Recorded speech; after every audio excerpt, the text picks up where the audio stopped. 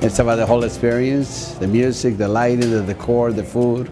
So what else, what other entertainment do you have? Food is entertainment.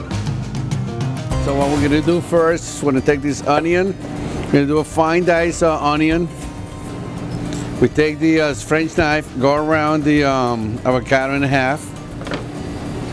We clip it and comes right off. We'll take, we'll do squares. Nice and gentle because we want to keep, uh, maintain the uh, character of the avocado so it's not mushy. In front of us we got some uh, yellowfin tuna. It's grade A, sushi style. So what we're gonna do with that, we're gonna dice it uh, a little less than half an inch uh, cubes. But the beautiful thing about ceviche is that ceviche is a lot healthier than uh, sushi and the reason why any type of citrus that you use, you kill any type of bacteria that you have. So here we got nice lime juice.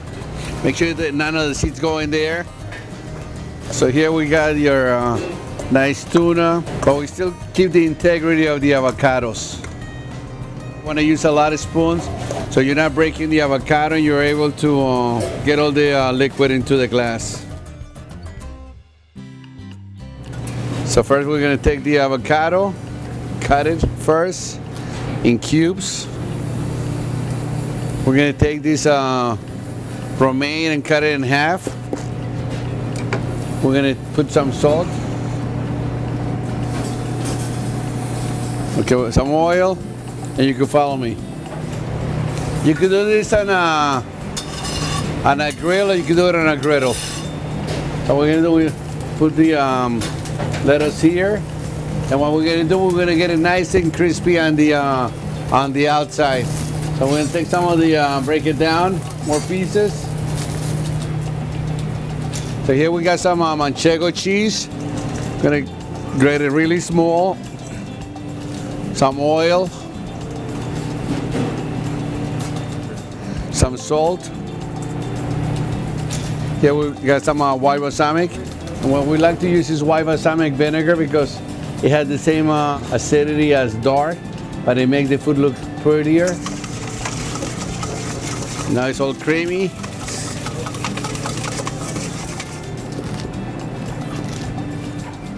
We'll take our avocado. Want to get high so it's nice and pretty. The, the reason why you want to do it, uh, shave it at the end so it's nice and fresh. And it's a simple salad. You have the vinaigrette ready when you get uh, home. And we get some nice, beautiful green on top. We always learn, we always keep learning. Tapas is your traditional Spanish style with, uh, with our own twist. It's the same energy, but it's about uh, eating healthy and trying to make sure that you, we make our customers and clients happy.